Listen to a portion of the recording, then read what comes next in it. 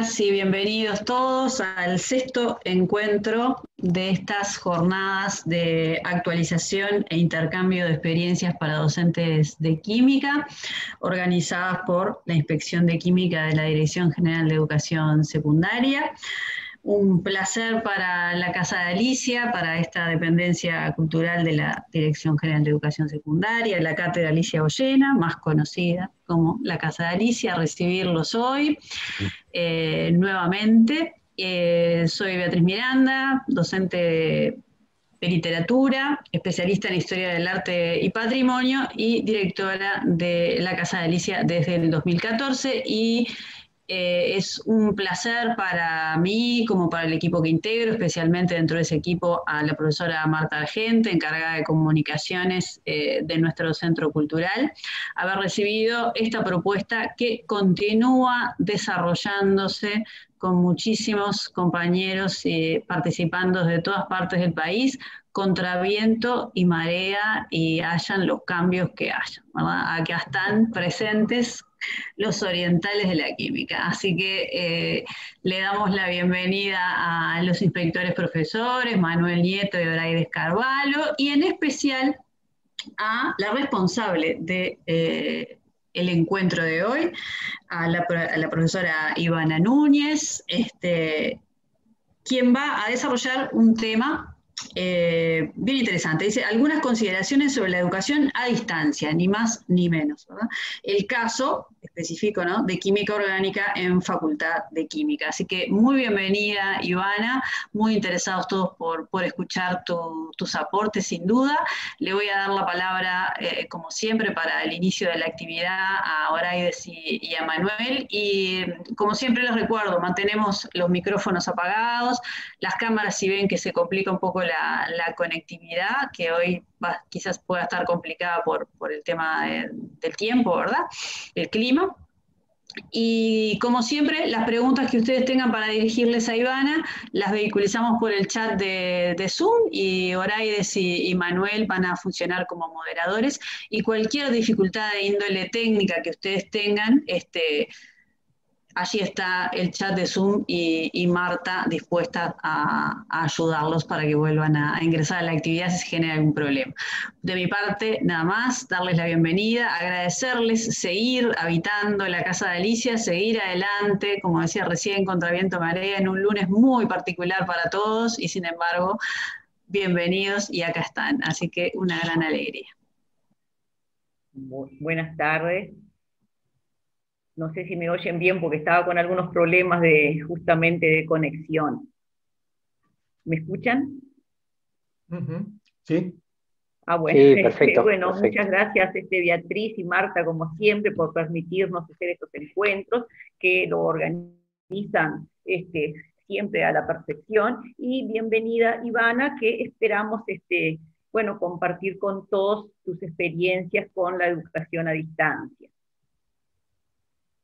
Manuel. Bueno, por, por, mi parte, agradecer también a Beatriz, a Marta, por ese trabajo enorme que, que hacen y que permite justamente que sean posibles estos encuentros. A todos los educadores que nos están acompañando, incluso en un día tan especial como hoy, fin del receso, comienzo de la presencialidad en ciertos niveles, desafíos grandes, pero bueno, han optado por, bueno, compartir este, este encuentro, esta hora y media, en que nos acompañará Ivana, a quien agradecemos enormemente. Ivana va a trabajar sobre educación a distancia, pero con una mirada que no hemos tenido en los encuentros anteriores, y es la mirada de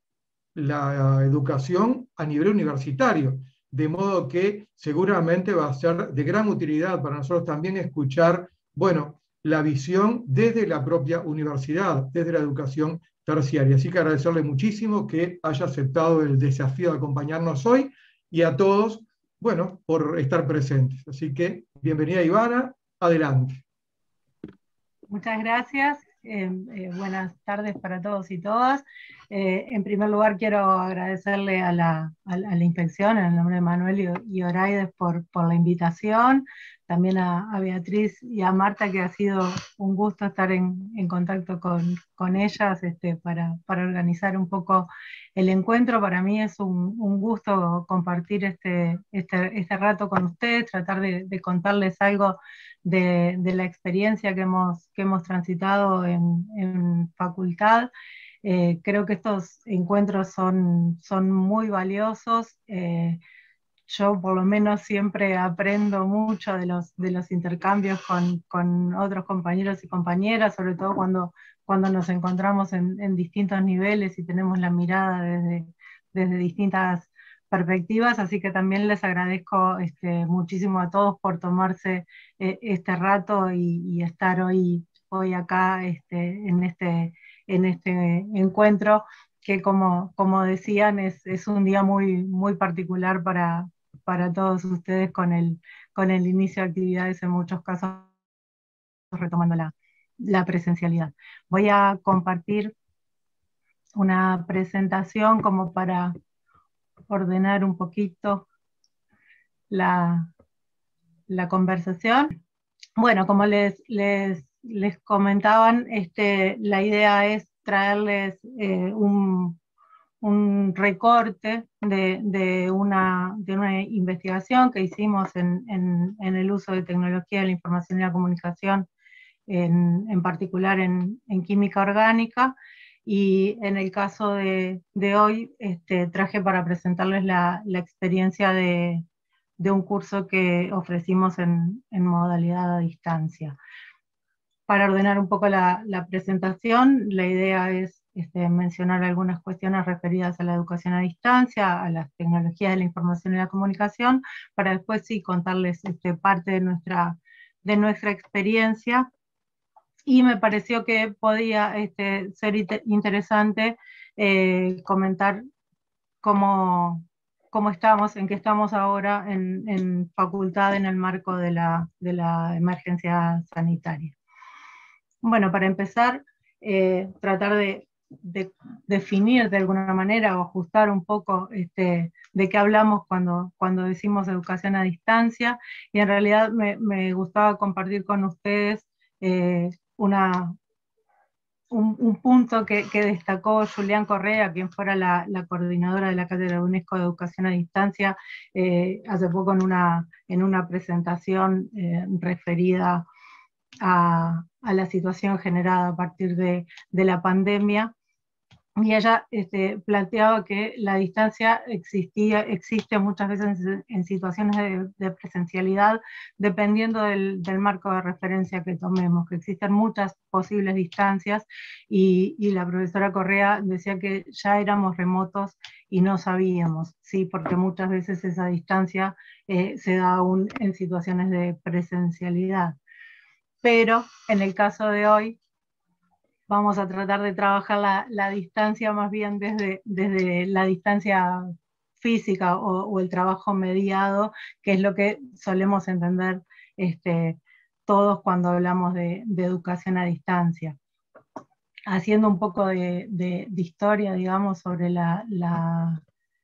el término educación a distancia, ya en el, en el 87 Lorenzo García Aretio hablaba de, un sistema tecnológico en el cual se veía sustituida la interacción personal por la acción de diversos recursos didácticos para promover un aprendizaje autónomo. Esto venía a, colación de lo, que, hasta ese momento este, se venía dando con la educación a distancia, disculpe, con la educación a distancia, sobre todo partiendo desde lo que había sido desde la década del 50 lo que se llamaba la educación abierta, aquellos este, paquetes de, recursos y de ejercicios que se gestionaban a, partir del, correo o, de otros medios y donde el participante en realidad no tenía vínculo este, con quienes generaban los contenidos, sino que el aprendizaje se realizaba de manera autónoma. Ya en 2012, eh, García Retio hace una revisión de, esta definición y entiende que hay un diálogo didáctico mediado entre el profesor y los participantes y habla de que se puede aprender en forma independiente, pero también de manera colaborativa. Esto no estaba contemplado en la definición anterior. Y tiene que ver con, por supuesto, los avances de las tecnologías, la, la disponibilidad de recursos este, y de herramientas que permitan este, favorecer o mejorar la, la comunicación, ¿verdad? Y en ese sentido, la educación a distancia la podemos como resumir en algunos este, puntos eh, en los que actualmente podemos este, encontrar sus características. Por un lado, la, distancia física, que es lo que todos este, entendemos como, como educación a distancia. Hay una mediación por tecnología de la información y la comunicación, porque esa distancia física debe ser suplida de algún modo eh, para, para favorecer las, las interacciones, ya sea con los contenidos o entre los participantes. Tiene una potencialidad para la comunicación asíncrona, esto es para poder desfasar en el tiempo, para que haya una distancia temporal en la comunicación, pero también este, permite la autorregulación y la colaboración. Y una cosa que me parece eh, relevante cuando hablamos de educación a distancia en la actualidad es el tema de la tutoría virtual. ¿Por qué? Porque si bien existe la posibilidad de mantener esa característica de educación a distancia autónoma, en donde eh, alcanza con eh, acercarse a determinados contenidos de forma ordenada, de forma graduada, como para eh, tener una formación a distancia, como pueden ser este, los cursos abiertos, en donde el, cada participante a su ritmo va, va, generando la interacción con los contenidos. Hay otra forma de educación a distancia, que es este, la, de la que quiero conversar eh, con ustedes hoy, que es la, la, educación con tutor, la educación en donde el docente tiene un rol eh, relevante que podríamos decir es comparable al de la, educación presencial. ¿Por qué? Porque eh, en, el caso de la, educación a distancia, con tutoría, el, tutor no solo va a ser o puede ser responsable de los contenidos este, y de impartir esos contenidos de la misma manera que en la educación presencial, sino también es relevante su, rol como, guía, como, como, orientador, es el dinamizador de lo que sucede eh, adentro de un aula virtual o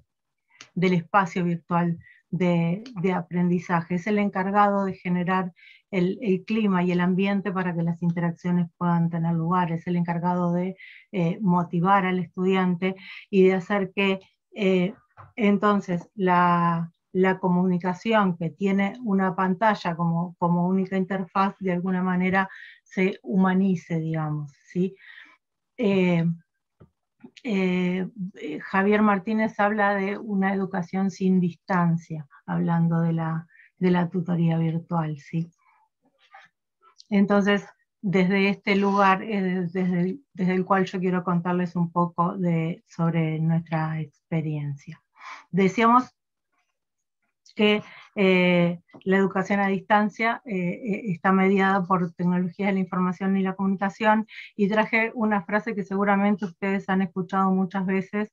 que hace más de 15 o 20 años que, que, se escucha ya desde que se hablaba de nuevas tecnologías de la información y la comunicación, que es que las tecnologías son ubicuas y han llegado para quedarse. Y esto es cierto eh, eh, en la vida cotidiana, sin duda, este, ustedes pueden verse reflejados de alguna manera en, el hecho de tener una alta disponibilidad tecnológica, participar de redes sociales y demás, pero no sé si es tan cierto o está tan generalizado en materia educativa porque muchas veces encontramos este, muchas resistencias en el uso de, tecnologías y, y no están eh, tan generalizado su uso. Sin embargo, si uno lo piensa como una caja de herramientas desde la cual uno puede tomar aquellos recursos o aquellas este, alternativas que le permitan desarrollar eh, los contenidos de acuerdo a la población objetivo, de acuerdo a la disponibilidad tecnológica que, tengan, eh, pueden ser eh, muy potentes y pueden favorecer mucho el tratamiento de algunos contenidos.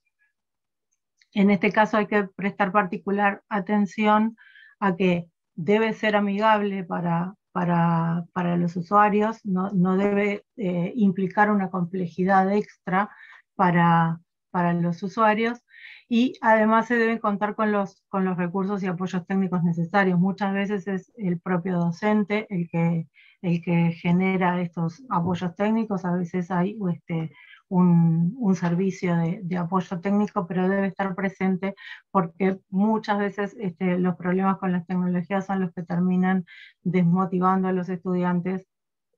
y eh, haciendo que no, no podamos este, utilizarlas de la manera que nos, que nos enriquezcan. Eh, este criterio de la caja de herramientas este, es,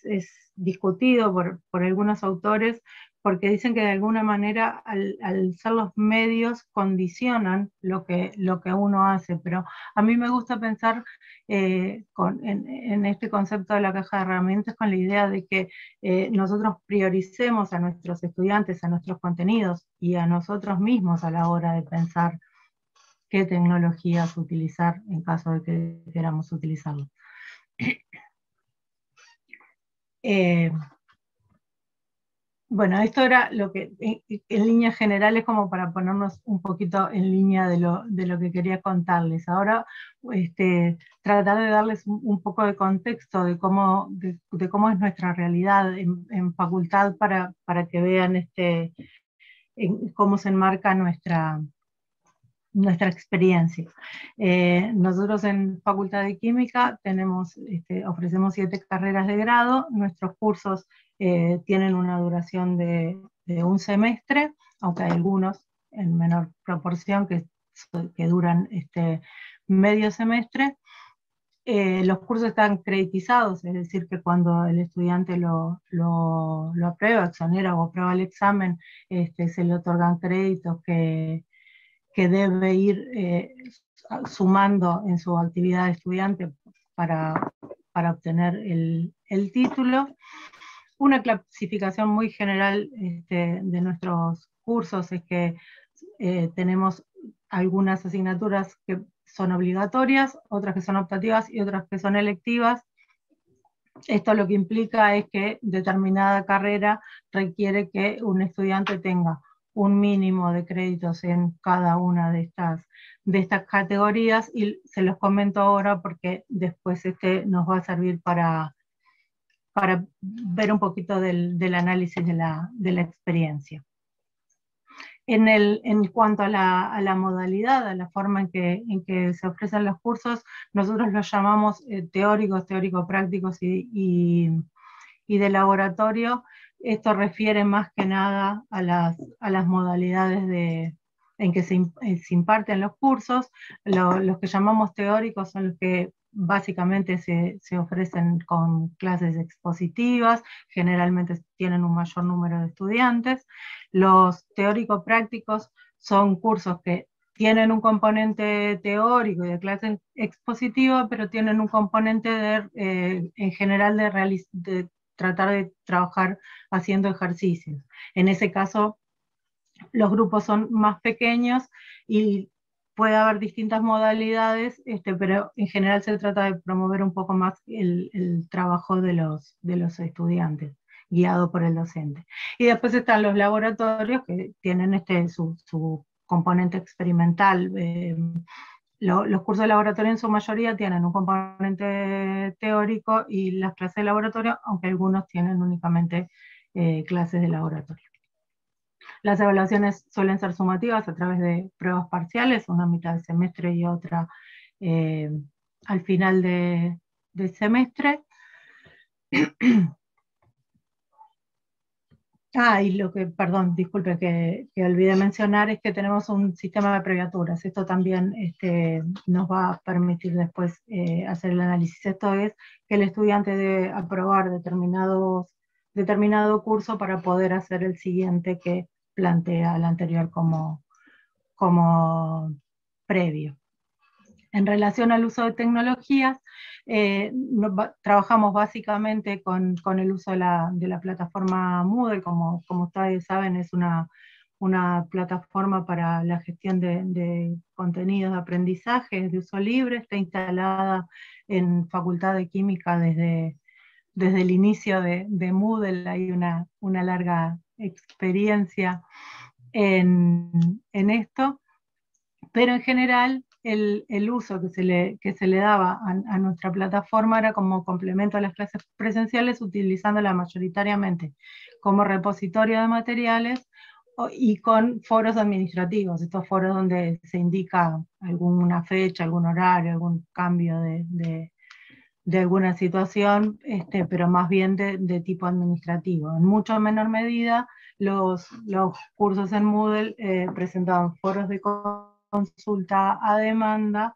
y eh, cuestionarios autoadministrados. En esta realidad este, de, nuestra, de nuestra facultad es que eh, por iniciativa de la, profesora Ana Bertucci se planteó eh, realizar un curso en, modalidad a distancia dentro del Departamento de Química Orgánica. Para eso se, se seleccionó un curso hemisemestral de, de tipo teórico, que es obligatorio para una parte de las, de las carreras que ofrece facultad, que se encuentra en el, en el quinto semestre. Eso quiere decir que los estudiantes que, que lo cursan están más o menos a mitad de, de su carrera que tiene una única prueba parcial final como forma de evaluación y que tiene una inscripción anual de entre 150 y 200 estudiantes. Este, este curso eh, trabaja en, módulos temáticos con un, con un módulo final integrador y entonces eso dio, dio lugar a pensar que podía ser este, modulizado para trabajar en, en forma a distancia. El objetivo del, del curso presencial, digamos, es este, introducir a los participantes en, el uso de, métodos espectroscópicos que permiten la, determinación estructural de, compuestos orgánicos, que son los que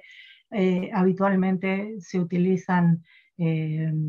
en, facultad, en el área de, investigación, de tal manera que cuando, cuando el estudiante aprueba el curso es capaz de poder determinar la, estructura de, moléculas medianamente complejas a través del uso de técnicas de ultravioleta, infrarrojo, masa y resonancia magnética nuclear. Básicamente se basa en eh, hacer un tratamiento del fundamento de cada una de las, de las técnicas, presentar eh, las características este, de cada una de las técnicas en cuanto a su, uso, su aplicación, y eh, trabajar con el, estudiante en el manejo de tablas de datos que permiten hacer las este, asignaciones de las estructuras, de tal manera que eh, el estudiante pueda hacer la lectura y el análisis de, los espectros dados para llegar a la, a la estructura del, compuesto. El curso es de, de asistencia libre y recientemente se, mm, se, incorporó un, aula virtual en, Moodle que era utilizada como, como repositorio de material y con foros de consulta de demanda, pero este, las clases, la modalidad es este, a través de, clases expositivas. En este contexto es que se, planteó entonces eh,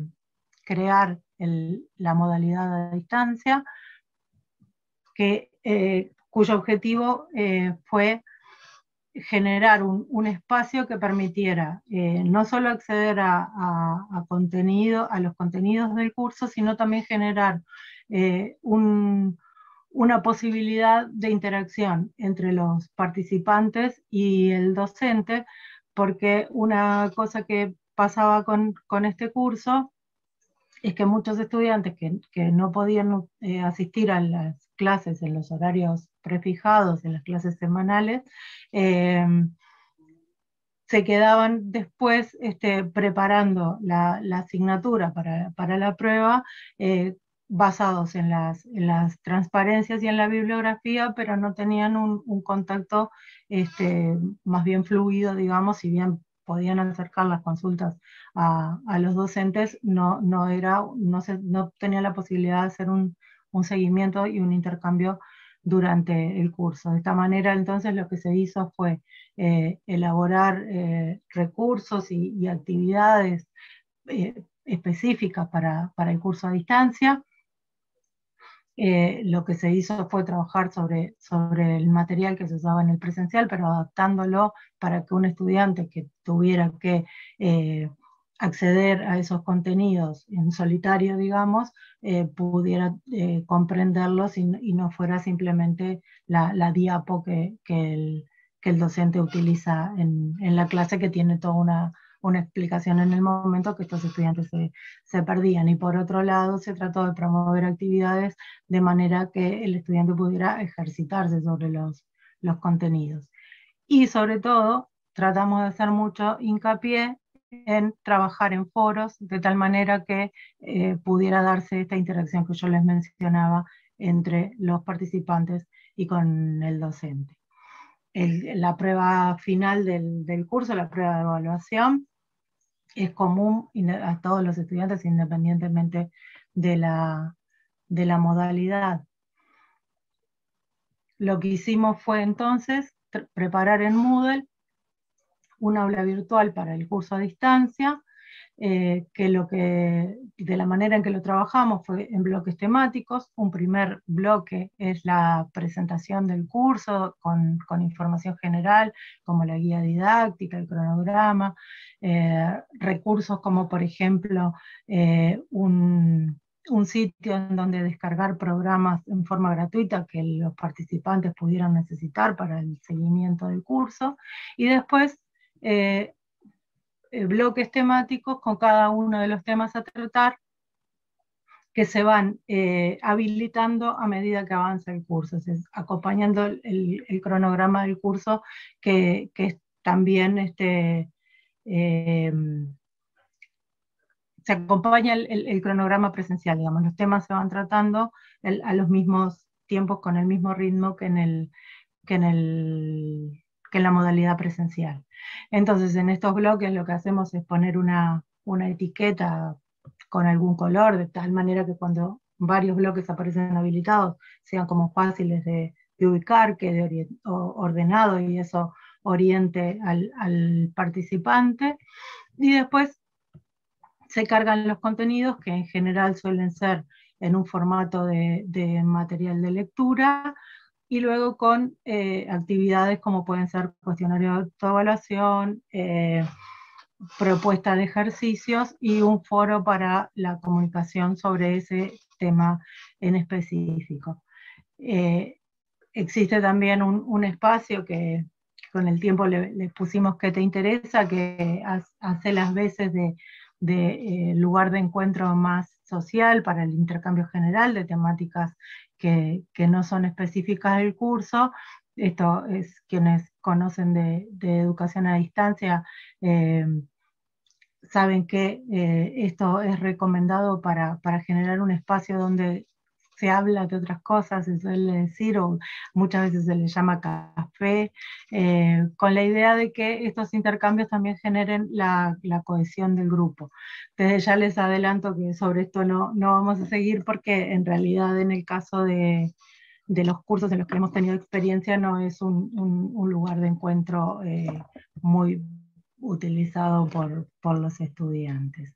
Volviendo entonces a los bloques temáticos, simplemente para, compartirles este, muy brevemente algunos ejemplos de los, de los contenidos que allí, que allí se disponen. Como les decía, hay algunos materiales que son este, de, apoyo teórico propiamente, material de lectura, eh, algunos, algunos archivos en donde se describe la manera de de, identificar este, las señales en el espectro, de, hacer este, los cálculos, que, luego son los que, que se les pide a los participantes que realicen a modo de, ejercicio guiado, eh, algunas este, aclaraciones o tips en donde se amplía eh, alguna, o se resume alguna parte del, contenido de manera de, aclarar o de profundizar, dependiendo de qué se trate. En el caso de los, de los foros, lo que nos planteamos es tratar de promover este, lo que les decía, de tratar de promover el trabajo colaborativo, de tratar de, promover la interacción eh, entre pares. Entonces, este, lo, que hacemos es presentar cada foro con un encabezado en donde se invita a, participar, se indica los plazos, que este, esto no lo mencioné, pero, pero es relevante que el, que el participante a distancia tenga claras las consignas y los, y los plazos en los cuales este, se va a trabajar. Entonces, por ejemplo, en, el caso que les, que les traje, eh,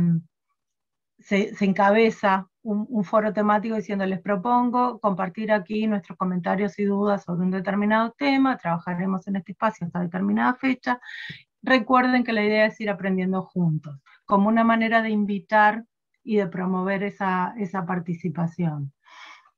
Eh, si bien eh, les decía que deben quedar claras en las consignas las fechas para las actividades y les comentaba que nosotros acompasamos el, cronograma presencial porque tenemos que tratar todos los, contenidos del curso. Eh, una cosa importante en, materia de educación a distancia es la flexibilidad que podamos tener con, los ritmos de los participantes. Entonces, si bien eh, se presentan de esta manera los, foros temáticos, luego con el correr de los, de los días y el contacto con los participantes se va aclarando que tanto los, los materiales de apoyo, las actividades como los foros quedan abiertos para que aquellos participantes que en algún este, momento perdieron, digamos, el ritmo, puedan continuar trabajando y puedan contar con el contacto con, con la tutoría.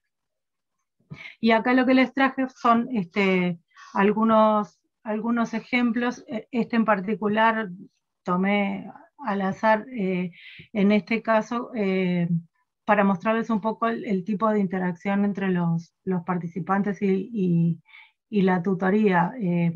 en general empezamos este, los, los, hilos de conversación de los,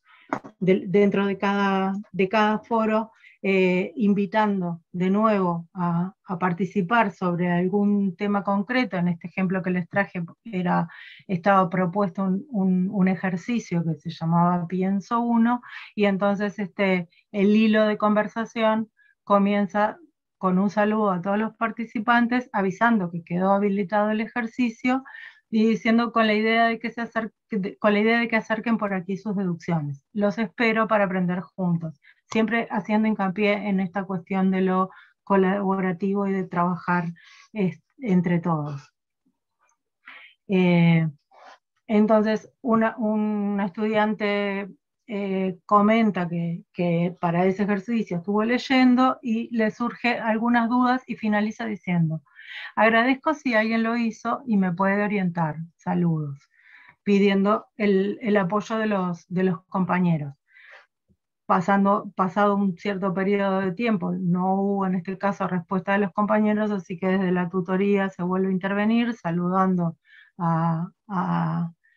quien hizo el posteo y a los demás compañeros. Y la estrategia es eh, no introducir la respuesta, sino acercar eh, una nueva algún dato y una nueva pregunta para tratar de continuar trabajando. Entonces, en este caso, eh, lo que, se, lo que se describe es hacer copista para ver si sale, y un dato y una pregunta. Ahora sí, los escucho como una manera de promover que el, trabajo lo eh, realicen los estudiantes. La, misma estudiante vuelve, vuelve a, a postear una intervención, dice entiendo, entonces hace una deducción y desde la tutoría se le, se le dice exacto, estás en lo correcto, pero se agrega, si alguien tiene tiempo, puede contarnos por qué lo que se busca es que se amplíe la, la, intervención por parte de otros compañeros. En todos los casos, lo que se hace es proponer hilos temáticos eh, independientes, de tal manera que las conversaciones vayan quedando ordenadas. Este, por ejemplo, que refería a Pienso Uno, si cualquier estudiante quiere hacer una consulta de otro ejercicio, del material de apoyo, lo que se les propone es que abra una nueva intervención para que cada discusión quede ordenada y sea más fácil de seguir. Y en todos los casos, desde la tutoría lo que se, intenta, al menos en, en las primeras intervenciones, es de realizar preguntas o tirar pequeñas pistas, como dice ahí, de tal manera que sean los, propios participantes los que vayan eh, este, elaborando la, solución. En relación a, la interacción entre los estudiantes, traje un ejemplo, a mí estas, estas son las, las intervenciones que, me parecen más, más ricas, más, más productivas. Este, en este caso, el ejemplo que les traje es de un par de estudiantes que habían hecho una, deducción y unas resoluciones de un ejercicio que estaba propuesto. Vieron que en este caso de vuelta el, nombre del hilo temático es ejercicio 1B, es otro diferente al anterior. Em, entonces estos estudiantes habían hecho la, resolución y una estudiante eh, se acerca para compartir que en, algunas de las, de las partes de la resolución, digamos, coincide con los compañeros, pero que en uno de los casos no llega al mismo valor. Entonces, hace toda una deducción, una descripción de cómo piensa ella que, que se debe resolver el ejercicio y al resultado que llega. Y entonces dice, al ver lo que ustedes hicieron, realmente quedé en duda de cómo se hace, así que quedo a la espera de una respuesta. Gracias. Entonces, uno de los compañeros que, había, hecho las resoluciones sobre las que, a las que ella se refirió, eh, la llama por el nombre y le dice, acabé de chequear el teórico y tenés toda la razón, calculé, bla, bla, bla, y es cierto, no tenés que tener en cuenta un dato que él había tomado en cuenta y le agradece. Y otro compañero le dice, bien ahí su nombre y gracias. Eh, en este caso, la intervención de la compañera eh, provocó que los, dos estudiantes que se sentían probablemente seguras de la, de la, respuesta a la que habían llegado, tuvieran que revisar este, lo que habían respondido. Entonces hay hay un, valor importante en, esta cuestión de, tratar de presentar las ideas, de, argumentar, y en, este ejemplo en particular queda muy claro algo que se da en, este y en otros cursos en los que trabajamos con foros, que es que eh, los estudiantes utilizan un, un, lenguaje y una simbología específica de la asignatura. Entonces también están, al trabajar de esta manera, practicando en, estas destrezas, ¿no? Eh, tratando de, argumentar de, forma ordenada y, correcta en relación a, los contenidos específicos de la, asignatura. Eh, en este caso, bueno, la tutoría no, lo puse acá, pero interviene preguntándole al resto del grupo si, si con esta discusión las cosas este, les, quedaron claras. Y las, las respuestas que, alguna, una parte de las respuestas de, los, de otros compañeros es, sí, yo también me había equivocado en ese ejemplo, pero ya lo entendí, había considerado no sé qué y ya me di cuenta de mi error y concuerdo con los resultados de la compañera. Y otro dice, llegué a los mismos resultados y me ayudaron a entender lo del tercer caso, gracias. O sea que esta cuestión de que eh, alguien se haya acercado a cuestionar lo que se había hecho hizo que provocó la reflexión en el, en el resto del grupo y esto creo, quería eh, compartirlo porque me parece que es de las cosas este, más, más valiosas que, que, tienen este, este tipo de intervenciones o este tipo de trabajo. Eh, ahora una, una, cuestión más, más autónoma, saliendo de, esto que, que, tenía que ver con, con el trabajar entre todos, eh, otra de las, herramientas que utilizamos es que en cada uno de los, de los temas agregamos un cuestionario de autoevaluación muy breve,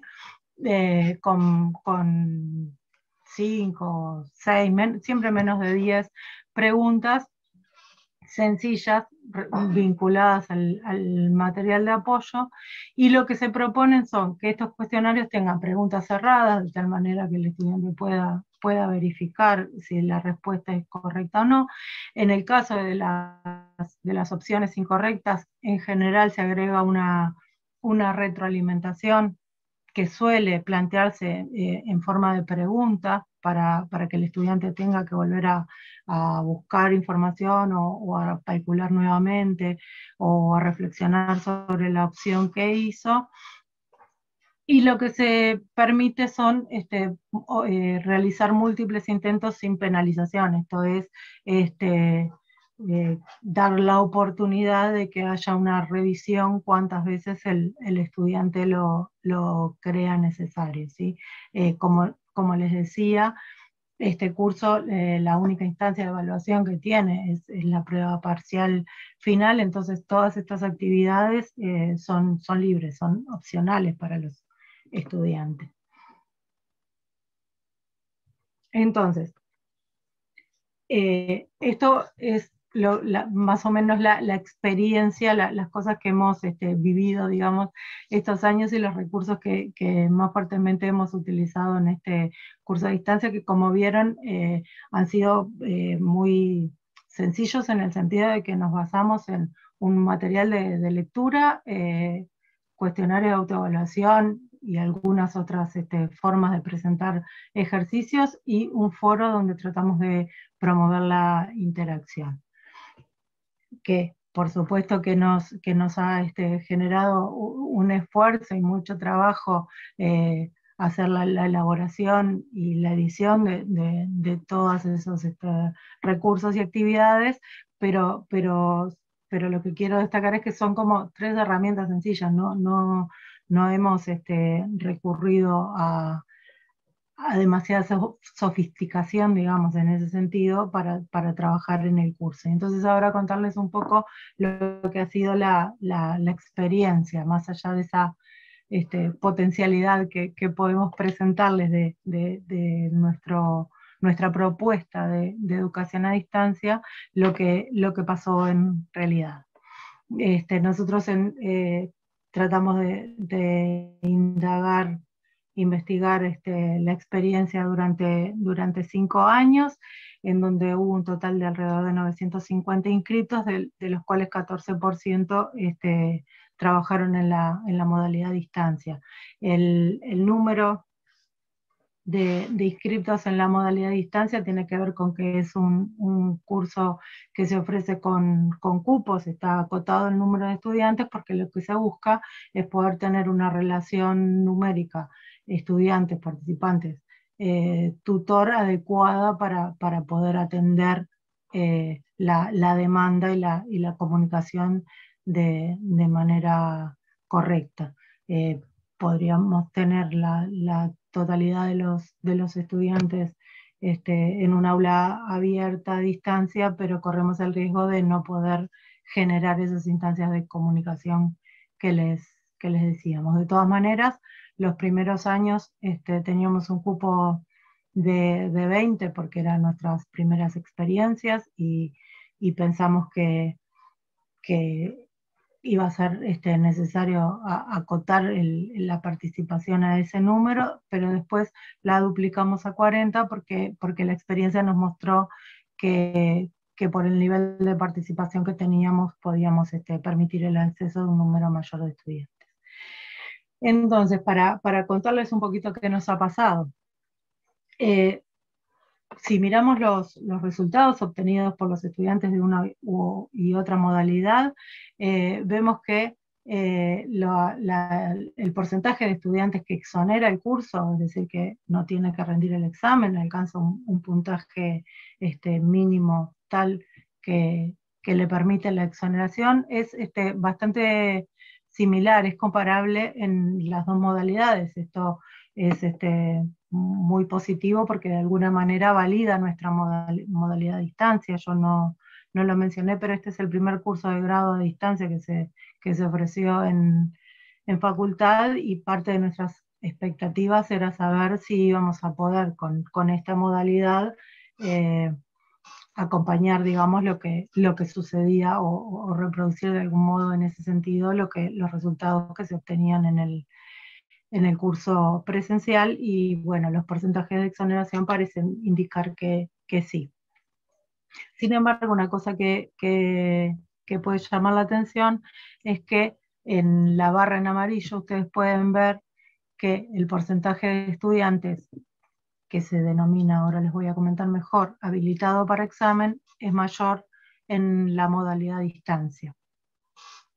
La, categoría este, habilitado para examen significa que el estudiante no alcanzó un mínimo puntaje en la prueba de, de, evaluación suficiente como para aprobar el curso, y menos aún, más lejos aún de exonerar, pero no quiere decir que el estudiante perdió el curso. En Facultad de Química, esta categoría lo que indica es que el estudiante tiene la posibilidad de rendir el examen en los periodos anteriores a que el curso se ofrezca nuevamente. ¿Esto qué quiere decir? Eh, que en este caso, cuando no se alcanza ese puntaje mínimo de aprobación, el estudiante en general tiene cuatro periodos de exámenes en los cuales puede rendir y aprobar la asignatura. Si aprueba en uno de esos periodos, no va a tener que recursar cuando, eh, cuando se ofrezca nuevamente el curso. Si no lo aprueba, obviamente, este, ahí sí, el curso le, aparecerá como perdido y tendrá que recursar. ¿Y por qué este, nos, nos, nos importa esto? Porque cuando empezamos a, ver qué pasó eh, año a año, lo que detectamos es que a partir del año 2, que fue cuando se implementó la calidad de, de libre en, en facultad, eh, aumentó el número de estudiantes este, que, no, que no se presentaban a rendir la prueba. En este cuadro, lo que tenemos como barras amarillas, en esta gráfica, perdón, lo que tenemos este, como barras amarillas son los estudiantes que no se presentaron a rendir la prueba. O sea, que quedan habilitados para examen no porque no alcanzan eh, un puntaje mínimo, sino porque no se presentan a rendir el parcial y esto es eh, mayoritario en, la modalidad eh, a distancia. Si miramos eh,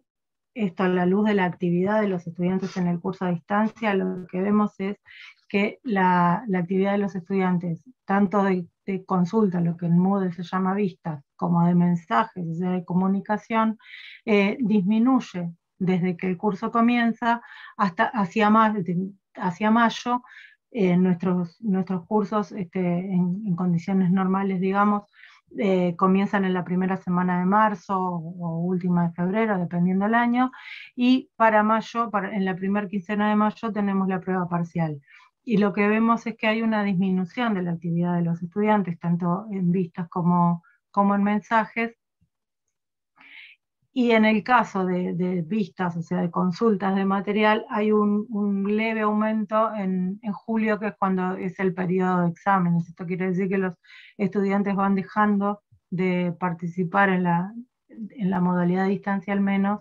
este, y algunos retoman para a la hora de, preparar el examen, este, consultando los recursos disponibles.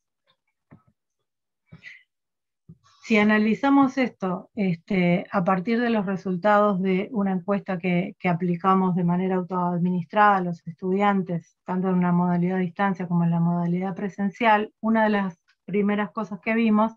es que cuando les preguntamos la carrera que, que cursan los estudiantes, en la modalidad a distancia hay un porcentaje alto de estudiantes de las carreras de ingeniería química e ingeniería de alimentos. Y se acuerdan que yo les dije que nosotros en la facultad teníamos un tipo de cursos que eran obligatorios y les dije que teníamos un sistema de previaturas y mencioné que eso nos iba a importar más adelante para analizar la experiencia. Bueno, se les decía por esto, justamente las carreras de ingeniería química, ingeniería de alimentos, no tienen este curso como, como obligatorio y por lo tanto, si al estudiante le queda pendiente rendir el examen, no va, no va a quedar este, trancado, no se ve impedido de, continuar avanzando en, el semestre siguiente. Por otra parte, eh, consultado sobre la, carga horaria de, su trabajo, vemos que hay una mayoría de estudiantes que trabajan optando por la modalidad a distancia y que un porcentaje alto lo hace este, eh, con una carga horaria mayor a, a 20 horas semanales. Esto es lógico porque justamente lo que yo les decía era que la, que la modalidad a distancia podía ser una alternativa para aquellos estudiantes que no podían asistir a, las, a los encuentros presenciales en los horarios prefijados por un lado, estudiantes de ingeniería que tienen este, a esa altura cursos en, las dos facultades, en Facultad de Química y en Facultad de Ingeniería, y que al no ser obligatorio de su carrera mm, eh, se superpone muchas veces los horarios de cursada con, con otras asignaturas, y por otro lado, estudiantes que trabajan sobre todo los de carga horaria más alta, que sus compromisos laborales les impiden asistir a, clase en, el horario que está establecido. Cuando vemos la cantidad de cursos que hacen los estudiantes en ambas modalidades, este, tiene una distribución bastante similar, centrada fundamentalmente en cuatro o cinco cursos, o sea que más allá de este, la, carga laboral u otras características, el número de cursos que, toman los, estudiantes es el mismo, por lo tanto el compromiso por ese lado es eh, similar. Eh, perdón, consultados entonces sobre la, elección de la, modalidad, vemos que, que, esto es este, como, como, lo vimos con los otros datos, porque los estudiantes que, optan por cursar la modalidad a distancia eh, dicen que principalmente eh, hacen esta opción debido a que tienen este, superposición de horarios con otros cursos o por sus compromisos laborales. Mientras que los de la modalidad presencial eh, optan por, dicha modalidad eh, simplemente por una preferencia personal, porque prefieren asistir a clase y evidentemente este, están en condiciones de hacerlo. Lo que, que sí este, surgió de la encuesta es que muchos de los estudiantes de la modalidad presencial indican eh, no conocer de qué se trata la, la modalidad distancia. Sin embargo, un 30% de, los, estudiantes de ambas modalidades que responden a la encuesta manifiesta tener experiencia previa en cursos en modalidades flexibles. Esto eh, aumentó en los últimos años porque eh, un mayor número de, cursos este, en Facultad de Química empezaron a, incorporar modalidades eh, de tipo semi, semipresencial, con algunas actividades en el aula virtual y, otras este, en forma presencial. De hecho, yo no, no, traje para comentárselos hoy este, para hablar más específicamente de lo que tenía que ver con educación a distancia, pero nosotros este, trabajamos también sobre un curso de, de laboratorio eh, en modalidad semipresencial, también este, haciendo hincapié en el, en el uso de, de foros, además de los otros recursos. Eh, cuando los consultamos a los, a los estudiantes después de la, de la, experiencia del curso, si les parecía que la, con, con esto en vista de, de que la, la, actividad disminuye, si les parecía que era posible, que era viable esto de la, de la flexibilización del curso, en este curso en particular, el 91% de los estudiantes que transitaron la modalidad a distancia opina que sí, y este porcentaje cae a 57% en el caso de los, de los estudiantes de la modalidad presencial. Dentro de los comentarios abiertos que, que, acercaron los estudiantes en relación a, a esta pregunta, se les preguntaba por qué entendían que sí o no era viable la flexibilización, los estudiantes de la modalidad de distancia eh, dicen que sí por por los materiales que tuvieron disponibles, por la comunicación tanto con, los compañeros como con, el docente, porque les permitió comprender los contenidos del curso, acercarse a los contenidos del curso desde la comprensión y porque le dio flexibilidad eh, principalmente en, los, en, el ritmo personal de, de aprendizaje, esto que yo les decía de que nosotros este, planteábamos que había un determinado cronograma a seguir con, fechas de cierre, digamos, del tratamiento de los temas, pero que en realidad esos cierres este, eran simplemente como para seguir el orden de, tratamiento de los contenidos, pero quedaba abierto para trabajar con el ritmo que los, estudiantes este, fueran presentando. Los que, los que los estudiantes de la modalidad de distancia que entienden que no, que no es viable la flexibilización luego de su experiencia, eh, opinan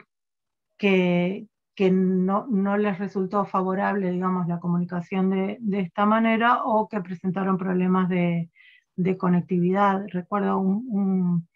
un, caso eh, particular de, de, un estudiante que mencionaba eh, no tener eh, posibilidad de conexión en su, en su casa y por lo tanto, este, después de trabajar todo el día, cuando llegaba a su casa tenía que salir a un ciber a conectarse. Obviamente en ese caso, este, aquello que les mencionaba de, de que debemos atender las posibilidades este, la accesibilidad para, para los estudiantes no, no, es menor. Los estudiantes de la modalidad presencial que opinan que, que sí es posible flexibilizar el curso, eh, argumentan que es por las, por, las, por las características de tratamiento de los temas, por, por, los contenidos y porque conocen la experiencia de otros estudiantes eh, que, lo, que lo transitaron la modalidad de distancia con éxito. La mayoría de los que indica que, que no sería viable es porque entienden que eh, para, para, poder comprender la, dinámica del tratamiento de los contenidos lo que requieren es una comunicación cara a cara con, con el docente. les traje como, como ejemplo eh, algunos de los comentarios que, que, los, que los estudiantes este, nos, acercaron. Eh, por ejemplo, en el caso de estudiantes de la, modalidad presencial, eh, hay uno que dice, siempre y cuando los estudiantes estén dispuestos a dedicar tiempo a la materia podría ser fructífero. Esta cuestión este, se encuentran muchos comentarios respecto a distintas cosas, este, ellos hacen referencia a eso, a la, a la dedicación, al tiempo. Eh, uno que, entiende que no, que no es viable, dice porque es necesaria la explicación docente para la resolución de ejercicios, eso que yo les decía, de, que indican que tener al docente explicándote en la pizarra es lo que, es lo que favorece su comprensión. Otros dicen que conozco gente que lo hizo a distancia y aprendió mucho, lo que yo les mencionaba de la, experiencia de, otros. Eh, acá me queda, les pido disculpas, pero me queda tapadito con, con el, a ver si lo puedo correr. Ah, ahora sí. Me había quedado con la barrita y no, no lo podían leer. Y otro también de la modalidad presencial, porque son los que les dejé en azul, dicen, con una buena explicativa de las diapositivas y material de apoyo creo que sería suficiente. Pienso que se puede entender a distancia si tenés apoyo docente. Esto que yo les decía, por el, por la, forma, las características del curso y los contenidos. Mientras que los estudiantes de la modalidad de distancia dicen, porque si bien no podía concurrir a clase, no me tuve que basar únicamente en los apuntes de otros compañeros o en lo que dicen las diapositivas, sino que tenía la posibilidad de tener mi propio material y un centro para consultar dudas. Otro dice, porque el curso tiene las mismas instancias de apoyo que la modalidad presencial. Se puede hacer preguntas al profesor diariamente y se comparte con compañeros mucho más incluso que en la modalidad presencial. Y alguien que entiende que no es, viable dice, porque en mi caso al menos me serviría más tener un profesor delante, de la misma manera que lo que indican quienes no han transitado la, la modalidad, la experiencia de modalidad a distancia. Bueno, y ahora. Ahora sí. Eh, cuando les consultamos sobre la, valoración que hacían este, del curso en cuanto a si los había motivado a estudiar, si se lo recomendarían a otros compañeros o si habían contribuido a su aprendizaje, los, porcentajes este, afirmativos son, son similares para, los estudiantes que transitaron ambas experiencias. Cuando, cuando les preguntamos este, sobre las causas por las cuales respondían, este, optaban por sí o, por no, los estudiantes de la modalidad distancia este, entienden que las causas de la motivación fueron los materiales que se ofrecieron, la interacción con compañeros, con los docentes y las actividades eh, propuestas. Y también algunos mencionaron este, que, el curso estaba organizado y, este, de, una manera adecuada y que los contenidos estaban claros. Los que no se sintieron motivados mayoritariamente eh, indican no, haber podido realizar el seguimiento del curso y, la necesidad de mejorar algunos materiales que, que según comentan, este, entienden que hay un exceso de información en algunos de ellos. En el caso de los, de los estudiantes de la modalidad presencial, se vieron motivados por las características generales del, curso, como los temas, la bibliografía y el planteo general, y este, que les resultó interesante el, contenido trabajado y hablan también del deber o la necesidad de, seguir el curso. Esto es algo que también se observa en, en otros casos, que que muchos estudiantes indican que el tener que asistir a clase en un horario determinado los, los obliga a dar cierta continuidad, los compromete a, seguir el curso. Los que no se encontraron motivados por la, por la en la modalidad presencial, eh, entienden que se deberían este, plantear más, más ejercicios también mencionan el exceso de información o en algunos casos este, la velocidad al, impartir las clases. En relación a si recomendarían el curso a otros estudiantes, en general los estudiantes entienden que la experiencia les resultó satisfactoria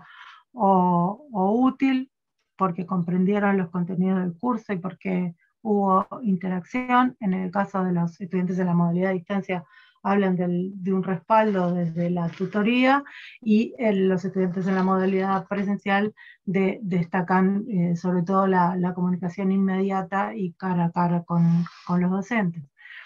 En, la, en el caso de la, modalidad a distancia, varios estudiantes eh, aclaran que recomendarían el curso a distancia siempre y cuando eh, no se pudiera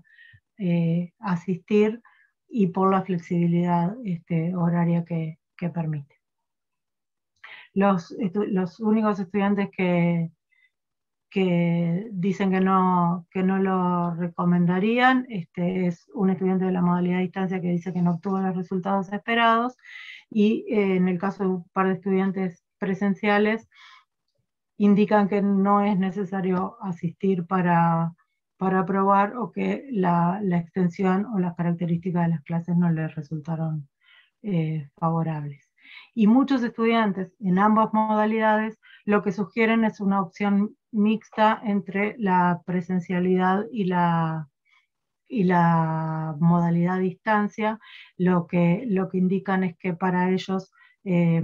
estaría bueno contar con los materiales este, elaborados en la modalidad distancia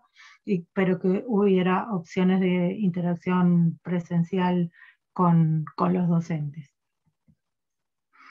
En cuanto a la contribución que el curso hizo a su, a su aprendizaje, este, todos están de acuerdo que sí por, por, la disponibilidad de recursos en el caso a distancia y por la, la, interacción y se vuelve a destacar la posibilidad de ajustarse al ritmo de cada uno. Mientras que los presenciales destacan las explicaciones de los docentes y de vuelta la interacción cara a cara e inmediata que, caracteriza la presencialidad. Cuando les preguntamos a los estudiantes en modalidad distancia este, sobre los recursos y actividades propuestos, eh, para en todos los casos este, cuáles les gustaron más y cuáles les resultaron más útiles, destacan los ejercicios ejemplos, lo cual nos llama la atención porque se trata de un curso que, como yo les decía, lo que busca es que el estudiante pueda resolver, pueda este, em, interpretar espectros y por lo tanto esto se trabaja en modalidad de ejercicio. es un aprender haciendo y se trata de aprender interpretando los, los, los espectros y usando las las tablas. Entonces, este, es, lógico que, que, que ello eh, contribuya al, aprendizaje. En cuanto a cuáles resultaron más útiles, existe un, número ahí este, de, estudiantes que, también eligen los, foros como posibilidad. Y en cuanto a cuáles eh, modificarías, eh, muchos lo que, hacen, lo que solicitan es que haya más ejercicios ejemplos disponibles y algunos este, vuelven sobre la extensión de, los, de algunos materiales de, lectura. Dejamos un espacio abierto en la, encuesta como para recibir comentarios este, generales y en el caso de la, de la modalidad de distancia extraje algunos para compartir con ustedes, como bueno, uno muy breve, como muy bueno el curso, sigan así, y algunos que, que muestran este, la, la, realidad de los estudiantes que fuimos viendo con, con, con otros resultados de, de, la encuesta y que eh, explican un poco eso que se veía de la, de la merma en la, en la actividad. Dice, a pesar de, que mi participación en los foros fue escasa, me pareció un curso muy bien armado y que se puede aprender si uno sigue bien los temas y pregunta si tiene dudas. Yo en general fui atrasada con los temas y todavía tengo mucho por estudiar, por lo que no fui una participante activa en las discusiones. Eh, otro dice, la verdad que muy buena el aula virtual, sirve mucho, más que el tener eh, una consulta, siempre la respuesta era rápida, tanto profesora como estudiantes. Una lástima que no me haya dado el tiempo para leer bien todos los temas y presentarme al parcial. Y acá una cosa interesante que también se observaba en los registros de actividad. Mi pregunta es, si el aula virtual va a estar abierta hasta el examen, sería una gran ayuda que quede abierta por el material teórico que hay y por los ejercicios y el foro que es muy importante. Y otro dice, es un curso virtual muy completo, pero como todo curso requiere la participación activa del estudiante en cuestión. Y por la misma razón que decidí tomarlo falta de tiempo para ir al curso presencial, es que tampoco utilicé muchos todos los recursos que nos dieron, sirviéndome más, en mi caso, el presenciar un curso. Como esta cuestión de eh, que los, los, elementos que estaban disponibles este, les, les, resultaron adecuados a los estudiantes, pero por distintos motivos eh, no, no, todos pudieron hacer el, el seguimiento a los tiempos que estaban propuestos. De los estudiantes de la, de la modalidad presencial, algunos comentarios finales fueron, me gustó mucho el curso, Sugiero que el material aportado a los estudiantes que realizan el curso mediante el aula virtual sea aportado de igual manera para los estudiantes presenciales, ya que facilitaría muchísimo el aprendizaje de estos. Lo que yo les decía, aquellos este, que, conocían el, material usado en el, curso a distancia este, lo, valoraban en distintos comentarios como positivos. También dicen, me pareció un curso muy interesante, útil y de fácil aprendizaje, pero en el futuro poder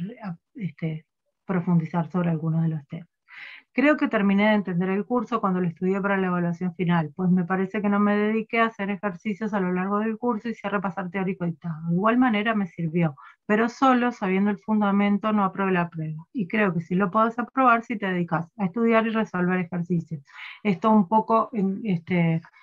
haciendo una comparación con lo que, con lo que pasa en el, en el curso a distancia, con la necesidad de dedicación y con aquello que los estudiantes valoraban este, de, la ejercitación, digamos, como,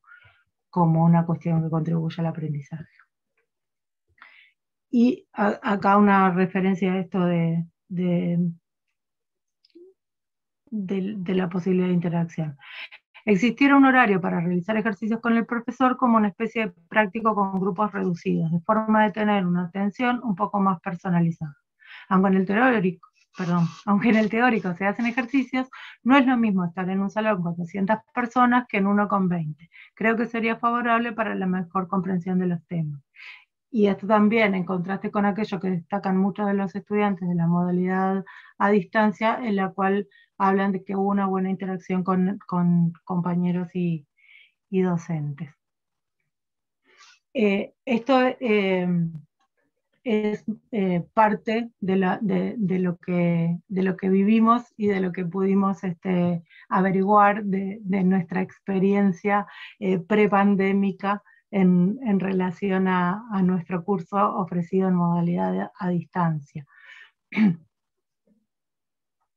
Eh, lo que sucedió, como nos pasó a todos, es que vino el, el sismo de la, de la emergencia sanitaria y nos, y nos sorprendió en el 2020 con este, la suspensión de las, de las actividades presenciales. En ese caso, tuvimos la oportunidad de, empezar nuestras actividades en el 2020 con, con, con, actividades presenciales a partir de marzo, pero ya a partir del 13 de marzo tuvimos que, que suspender todo y los esfuerzos se volcaron a, tratar de eh, dar continuidad a los cursos que no tenían actividades de laboratorio. Se suspendieron las, las actividades de laboratorio, pero se trató de gestionar la virtualización de, del resto de, del, de, las, de las clases, estos cursos este, que como yo les decía, se ofrecían este, de, de, manera expositiva, por ejemplo, o a través de ejercicios, trató de, se, se, empezó a trabajar para, para poder este, darlos en, modalidad a distancia. Y entonces, en el caso particular de nuestro curso, lo, que sucedió es que como la modalidad a distancia ya este, estaba instalada y se, venía trabajando, nosotros continuamos trabajando, este, o sea, para nosotros dentro del aula virtual del curso no pasó nada el 13 de marzo y seguimos trabajando.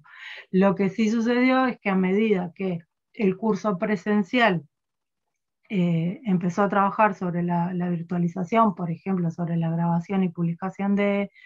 clases, eh, lo que empezamos a hacer fue una combinación de los recursos que tenían ambas modalidades y abrimos el aula virtual del curso a distancia para todos los estudiantes inscriptos y a la vez dejamos disponibles estos recursos, estas clases este, grabadas para los estudiantes de la, de la modalidad a distancia.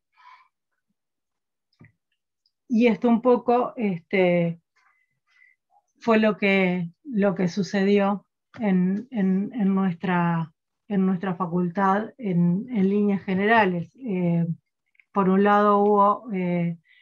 eh, un aumento relativamente pequeño, digamos, en el número de usuarios y, de cursos porque en realidad la mayoría de nuestros cursos ya contaban con aulas virtuales, que hasta este momento se utilizaban como, como, repositorio de material, pero sí lo que pudo verificarse este, a partir de un informe que se hizo a nivel central de la universidad es que tuvimos en Facultad de Química la tasa más alta de mensajes por usuario. Esto quiere decir que se aumentó este, el trabajo con, foros, con, una comunicación a través de foros. Y también hubo un aumento del 154% del número de preguntas en el banco de preguntas, esto es en el espacio donde se generan las preguntas que son utilizadas en los, en los cuestionarios. Esto quiere decir que esta herramienta también este, tuvo una activación importante. Y otro recurso eh, que yo no, lo mencioné hasta recién porque no lo utilizábamos en nuestra modalidad a distancia, pero que sí veníamos este, tratando de promover en la facultad, era el, uso de, material audiovisual en general. Este, trabajábamos sobre, sobre clases grabadas y lo que se produjo entre, entre, entre diciembre de,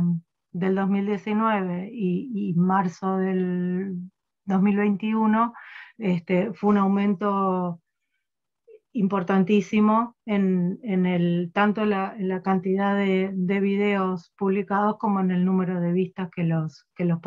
que los estudiantes este, hicieron. Pasamos de tener 154 videos con alrededor de 16, 17 mil vistas en 2019 a 406 videos con más de 88 mil vistas en marzo del 2021 y esto no tengo los datos, pero, pero creció aún más este, en lo que va del año. Y otra herramienta que no se utilizaba, otras herramientas que no se utilizaban hasta ese momento, pero que se empezaron a utilizar, creo que de manera generalizada, no, no, no solo en Facultad de Química, fue las plataformas que este, permitían la, comunicación eh, sincrónica y hubo un promedio en, la primera mitad del, del 2020, del 2020 perdón, de unas 130 reservas semanales, este, lo que permitió mantener es el, contacto con los, con los estudiantes en encuentros sincrónicos eh, con los docentes. Realizamos una, encuesta también a los estudiantes, esto eh, más allá del, curso que, yo les mencionaba, eh, para ver eh, si la disponibilidad que tenían de dispositivos. la mayoría de los que respondieron la encuesta contestó que contaban con, dispositivos para seguir los cursos, la mayoría hacía un uso individual del, del dispositivo, no lo tenía que compartir y cuando les preguntamos sobre las herramientas que, le parecía que contribuían más a su, a su aprendizaje, en realidad este, todos tuvieron un, número de opciones eh, importantes, pero eh, destacan los materiales de lectura y las, presentaciones de clase. Eh, cuando les preguntamos sobre las, las, ventajas de disponer de clases grabadas eh, destacan la, accesibilidad en cualquier horario y sobre todo eh, una cosa que, creo que, resulta interesante, yo esto lo,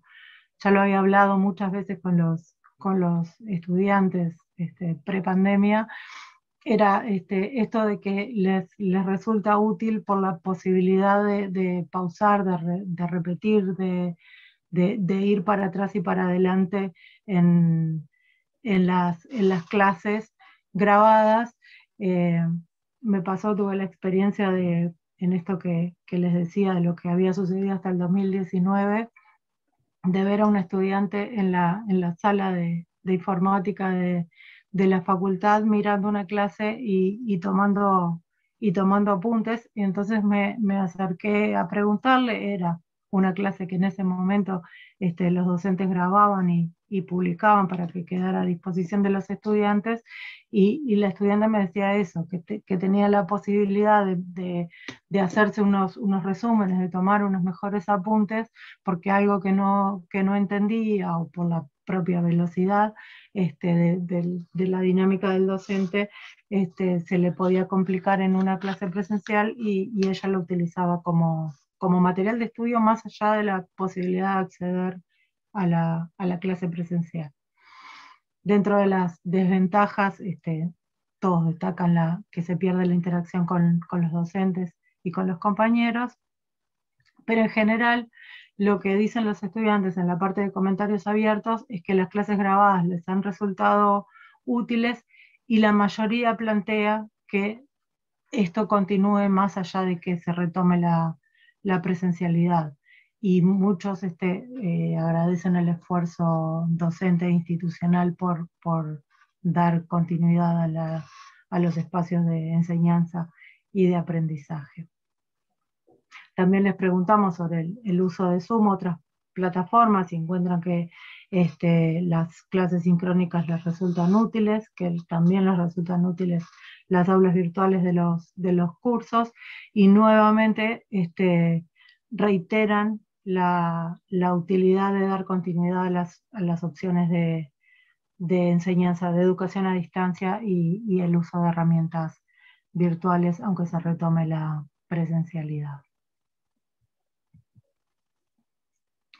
Eh, de, la, encuesta lo que, y de los, datos que, que podemos tener, lo que pudimos ver es que la emergencia sanitaria como toda crisis, este, significó una, oportunidad para, promover el uso de, recursos este, tecnológicos que eran largamente solicitados por muchos estudiantes, en particular los, estudiantes que, por, su trabajo u otros compromisos no, no, podían este, asistir a clases. En general valoraron como, útiles las herramientas utilizadas y solicitan la, la continuidad de su uso, pero no hay que perder de vista estas cosas que manejábamos sobre la, posibilidad de accesibilidad tanto tecnológica como este, del, espacio, del contexto en donde se encuentra el, participante, porque hemos este, tenido experiencias eh, que han demostrado que esto también puede llegar a ser eh, una complicación. Y después, eh, bueno, este, desde, desde una encuesta que hizo la Dirección General de Planeamiento de la Universidad, también se pudieron constatar este, situaciones de, problemas emocionales, de generación de, estrés o de ansiedad en los estudiantes en, esta cuestión de la distancia. Y entonces retomo aquello que les decía al principio de la, sobre la tutoría virtual, que es este, relevante atender las formas de comunicación en este tipo de, enseñanza. Y me saqué una frasecita que, que, de los comentarios abiertos de los estudiantes, que dice la combinación de la grabación de los cursos con los foros de discusión es extraordinaria, porque creo que de alguna manera lo que, lo que nos está diciendo es que eh, recursos que nos permitan acercarnos a los contenidos, pero con la posibilidad de generar interacción y comunicación, este, es, es este, según ella, e, extraordinario, es favorable para, para, para ayudarlos a, a, aprender. Y solo este, para despedirme, dejar una frase de Juan Ignacio Pozo que creo que, que resume la, la potencialidad que tiene la educación a distancia y esto de permitir que, que, los participantes vayan a su ritmo, que nos dice que enseñar y aprender son dos verbos que no siempre se conjugan en un mismo tiempo. Quedo a las órdenes este, para cualquier comentario o pregunta que quieran acercar. Eh, la idea es eh, escribir las preguntas en el chat y así con Oraide las vamos seleccionando y vamos, este, vamos, eh, las vamos leyendo. Por ahora en sí no hay ninguna anotada, así que este, te pedimos que, lo escribas. Yo simplemente comentarle algo a, Ivana. Bueno, realmente me, me, pareció extraordinaria la presentación, la claridad de la exposición, la muy buena ejemplificación. Me llamó la atención la muy buena sistematización de la información que nos fue comunicando, lo cual la hizo todavía más, más útil me llamó la atención también el valor que le dieron los estudiantes a las clases grabadas, más aún que a las clases por videoconferencia, por lo que este, interpreté. Y ese comentario que planteó algún alumno, la combinación de la grabación de los cursos con los foros de discusión es extraordinaria. Evidentemente encontraron allí un mix que les hizo bien a los estudiantes. Y mucho de lo que ha planteado Ivana, sin duda es trasladable también a la educación media, más allá de que, claro, el docente de educación media tiene que pasar de un nivel a otro nivel, de un grupo a otro grupo, con distintas realidades, pero mucho de lo que planteó Ivana seguramente sea muy aplicable. Esto también interesante cuando ella plantea que llegaron a detectar problemas emocionales en periodos de no presencialidad, a raíz justamente de estos foros y esta forma de comunicación. Este, evidentemente, cuando los espacios lo permiten, bueno, surgen muchísimas cosas. Eh, los alumnos en realidad, no sé a nivel terciario, pero a nivel de secundaria y a nivel de primaria, estaban deseando volver a la presencialidad, sobre todo por el componente tan importante que tiene la interacción con los otros, lo afectivo, hasta los momentos lúdicos que sin duda son muy importantes. Bueno, tenemos ahora sí unas cuantas preguntas. A ver, vamos a ver por acá. Vi que se había movido el tema del el chat. A ver si lo... Bueno, acá. Más bien son bueno, por acá, bueno, Oraides estaba leyendo alguna pregunta por lo que veo. No, no, que estaba, leyendo el chat, pero más bien son comentarios, agradecen este, que muy este, interesante la presentación de mi parte. Por ejemplo, le quería comentar a Ivana, a medida que ella estaba hablando, que muchas cosas yo creo que incluso coinciden con lo de secundaria, porque algunas cosas me parecía escuchar lo mismo que me, a veces me comentan los profesores incluso estudiantes. O sea que me pareció muy... Este, atinada la, la charla porque me parece que es muy aplicable en muchos aspectos a lo educativo. Este, no sé si hay alguna pregunta concreta, porque lo que estaba viendo era que este, son más bien comentarios. Sí, yo estaba viendo eso también, todos comentarios muy halagadores, que Ivana los merece, sin duda, sin duda, este, superó ampliamente todas las expectativas, realmente estupendo. Eh, dejamos ahora que no hay nada escrito, de repente alguna pregunta que quieran hacer directamente. Por allí, Fabián. Sí, adelante. Este,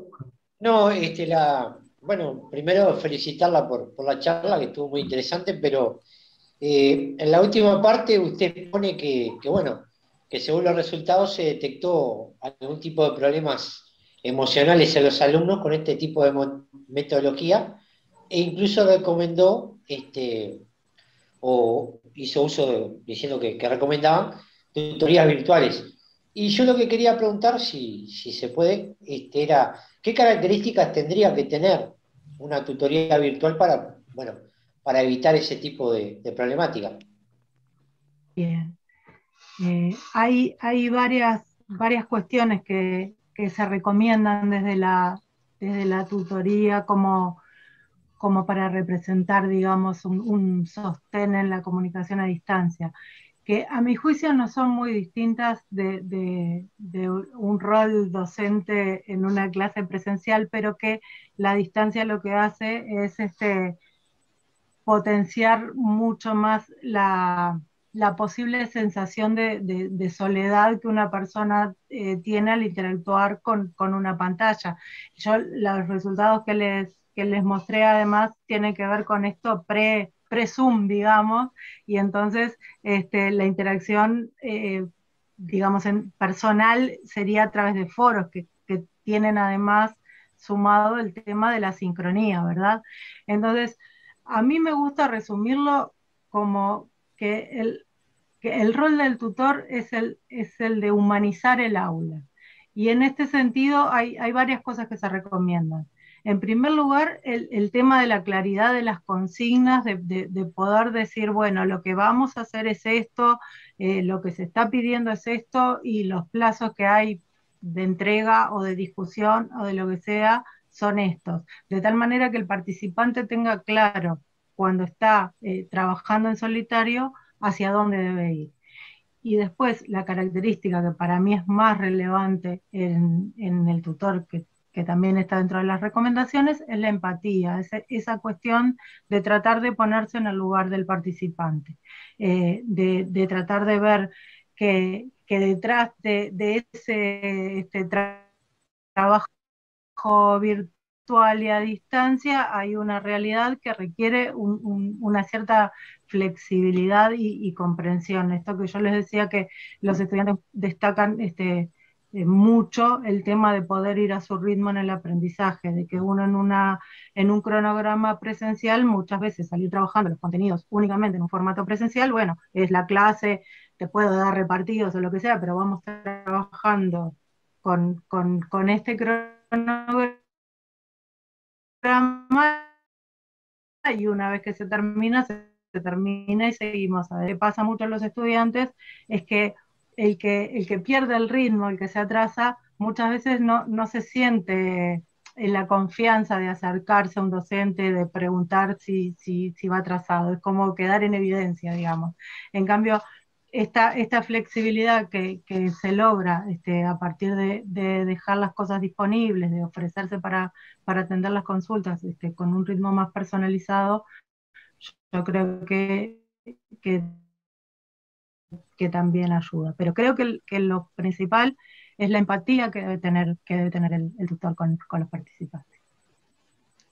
Bueno, vamos a leer algún aporte que hacen colegas, por ejemplo, Alberto Sensato, que trabaja con alumnos extra edad, nos escribe, me pasó que en el caso del público los chicos agradecieron mucho las clases grabadas, ya que ellos, al ser adultos, miraban una y otra vez el video en los momentos en que a ellos les servía para hacer los ejercicios o para retomar conceptos. Después Susana Velázquez nos escribe, la modalidad vista resulta muy provechosa tanto para estudiantes como para docentes. Nelly Dominici, Dominici de Rocha nos plantea esto, dice, rescato el valor del foro como estrategia de aprendizaje con el otro. Y qué importante es que el moderador no dé la respuesta, sino que impulse a continuar con la discusión. Importantísimo esto que nos plantea Nelly justamente. Bueno, y creo que no tenemos otros aportes. No sé si alguien quiere hacer una pregunta más y ya daríamos cierre a la actividad de hoy. ¿Alguien que quiera hacer de repente algún, algún comentario directamente? En realidad ya estamos pasaditos de hora, Manuel, así que agradecer infinitamente a Ivana otra vez y como siempre a la gente, a Beatriz y a Marta de la cátedra que generosamente siempre están ayudándonos en todas estas actividades y lógicamente que Ivana con sus aportes nos dejó pensando muchas cosas, porque la verdad que creo que todos los que participamos de esta charla nos vamos pensando eh, que muchas de estas cosas que ella nos señalaba de las encuestas que hicieron los estudiantes, lo que decían los estudiantes y todo eso, este, también es aplicable a, a, secundaria. Así que muchísimas gracias, como siempre, a todos y también, lógicamente, a, los, a la gente que se conectó, a los docentes. Bueno, yo también despedirme, agradecer muchísimo a Ivana, con la cual espero poder mantener, esperamos poder mantener eh, nuevos vínculos, porque sin duda la vemos este, muy comprometida, muy reflexiva, muy seria en sus planteos y además con una presentación muy didáctica que realmente eh, nos dejó muchísimo. Así que agradecerle muchísimo por todo lo que nos ha aportado hoy. Agradecer a todos los colegas que han participado desde distintos lugares del país con distintas experiencias. Tenemos aquí un público de gente muy, muy, muy experiente, de gente muy novata, de gente de término medio, con mucha formación, con formación intermedia, con poca, bueno, hay de todo y eso realmente es bien valioso. Así que agradecer la presencia de todos y ni hablar del agradecimiento a Beatriz y Marta que hacen posible el milagro de todas estas actividades que si las tuviéramos que organizar solamente Hora y yo, no podríamos hacerlo también de ninguna manera. O sea que es invalorable todo lo que hacen. Y bueno, agradecer entonces de nuevo a todos. Gracias. Y la próxima es muy cercano porque el miércoles ya estamos de nuevo en la próxima charla, así que muchas gracias. Eso y nos el miércoles. Justamente eso iba a decir, ¿verdad? Este, no nos despidamos mucho porque dentro de un rato más Dentro de un rato, ¿no? El miércoles nos estamos encontrando de nuevo. Este, muchísimas gracias a todos, en especial, obviamente, a, Ivana. Eh, para nosotros, lo, que dije en el comienzo, un, placer este, eh, recibirlos, aunque sea en la virtualidad, ya volveremos a, la posibilidad de la presencialidad, que no deja de lado la virtualidad porque hay muchos compañeros que están muy lejos y no podrían estar presencialmente en la casa, así que se viene una modalidad eh, dual de funcionamiento para nuestra dependencia cultural, sin duda. Este, y bueno, todos los comentarios que ustedes eh, hicieron en el chat eh, le van a llegar a Ivana, hoy lo conversábamos, vieron que siempre tratamos de optimizar todas las vías de comunicación y de intercambio. Hay mucha gente que está diciendo que recibir y leer y poder generar intercambio.